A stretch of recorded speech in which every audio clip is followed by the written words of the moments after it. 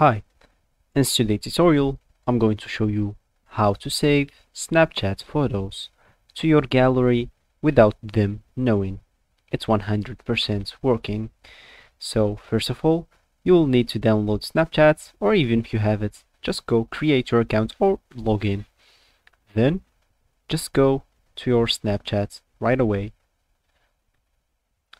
After that, go to messages it's but you can do that by scrolling from left to the right or by clicking to the icon on the left of the main interface.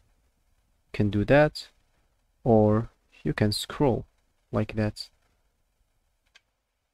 So let's say for example this user sent us a snap or a photo.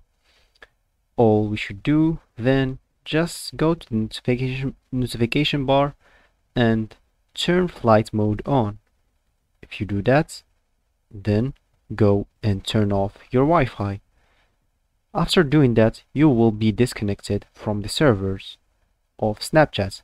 Then just go back to your conversation in Snap, then take a screenshot of it. When you do that, just go back to the notification bar, turn on your Wi-Fi back on and turn off your flight mode on uh, uh, off. Then just go and chat normally and they will not know that you took a screenshot of it. So that's it for the video guys. I hope you like it. Thanks for watching and goodbye